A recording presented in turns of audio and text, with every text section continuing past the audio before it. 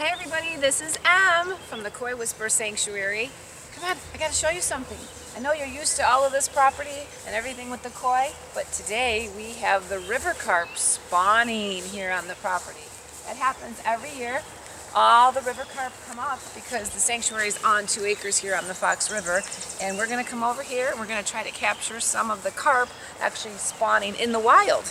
This is a neighboring property here that um, if the floodplain, if the floods came over into this area, they would be over here more, but it being drier, they're spawning hundreds and hundreds and hundreds of carp, river carp, are spawning here right now.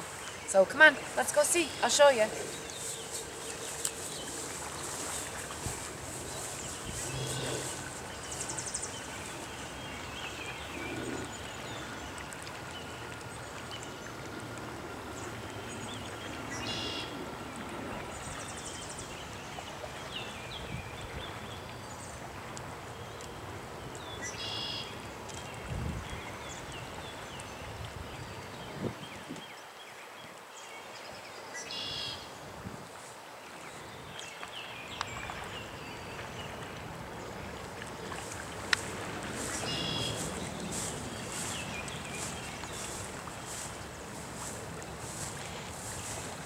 So this is nature at its best.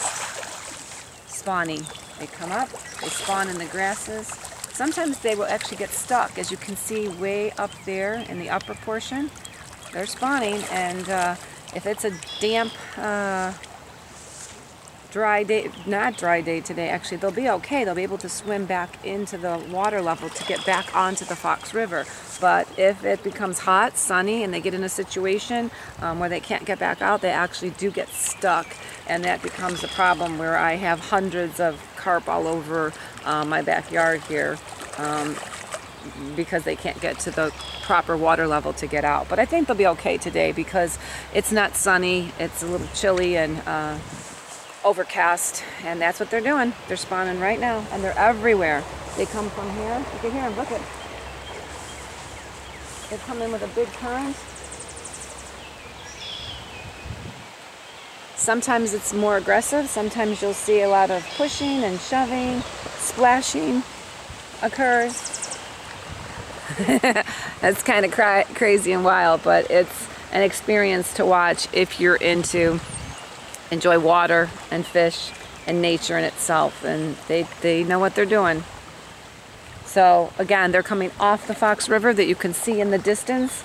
Um, again, the Koi Whisperer Sanctuary is on two acres here on the Fox River and because of this water coming in on a neighboring property and kind of flooding over a little bit, they do this every year. The carp come in and they spawn here and it gets to such an extreme level of spawning with so many carp that it actually affects the geese and um, the other birds that are nesting along the shoreline because they're out there squawking and making noise because they're affected. They know that the carp are coming in. So they arrived here um, this morning and they've been busy for several hours here doing their thing. It's cool. It's cool to see. So that is uh, carp spawning at the Koi Whisperer Sanctuary. And I will see all you guys soon. Enjoy.